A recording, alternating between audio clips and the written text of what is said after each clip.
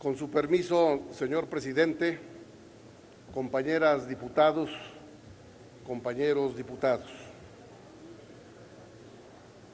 México, desde ya hace varios años, ha experimentado movimientos migratorios principalmente hacia Estados Unidos.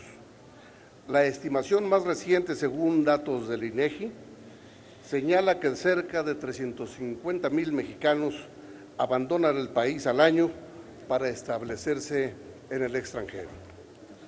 Esta constante migración se da principalmente entre la, población rural, la cual, en busca de mejores oportunidades laborales, acrecentar su situación económica o, mejorar su calidad de vida, cambia de residencia temporal o definitivamente estableciéndose en otra entidad federativa u otro país.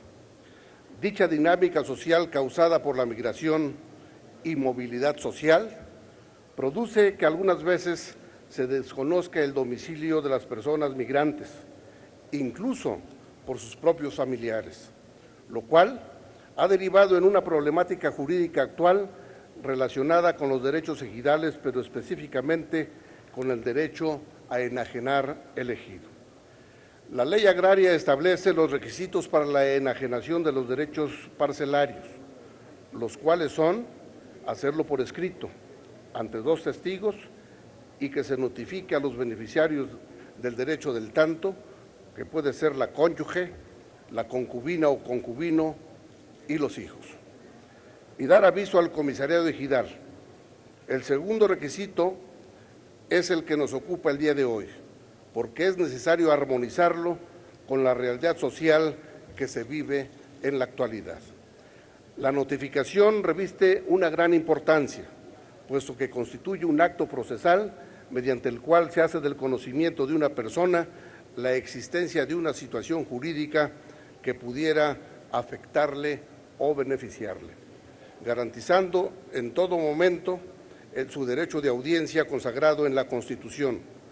La notificación, por lo tanto, a las personas que gozan del derecho del tanto, de quienes se desconoce su domicilio, crea un problema jurídico en la enajenación que es necesario, atender y que podría resolverse con la flexibilidad de la ley agraria.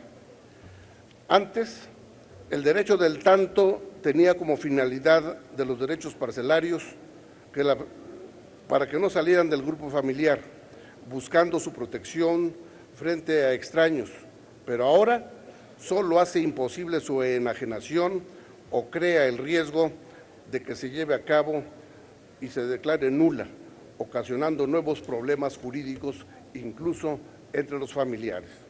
Por ello, esta medida contempla en el dictamen que prevé se notifique mediante el comisariado ejidal con la participación de dos testigos o antefedatario público a las personas que gocen del derecho del tanto cuando se desconozca su domicilio. Tendrá efectos de notificación personal, lo que producirá que la enajenación sea un procedimiento más ágil y en sintonía con el principio de la economía procesal. Este problema de este, esta propuesta de reforma en ningún momento perjudica el derecho de preferencia de los beneficiarios, porque aún al desconocerse su domicilio se les tiene que notificar. Simplemente se fortalecerá la libertad de los ejidatarios para disponer de sus bienes en su beneficio y a su mejor parecer. Por otro lado, habrá más beneficiarios del derecho del tanto debido a que serán consideradas también las personas que hayan trabajado la tierra, los ejidatarios, avecindados y el núcleo de población. Por lo anteriormente expuesto, el grupo parlamentario del PRI, en voz de su servidor, aprobará esta reforma. Muchas gracias. Muchas gracias, señor diputado.